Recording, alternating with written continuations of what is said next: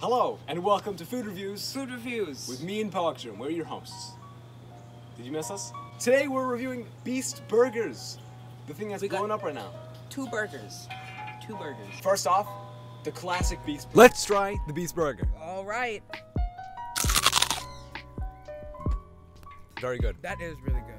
I give this an 8 out of 10.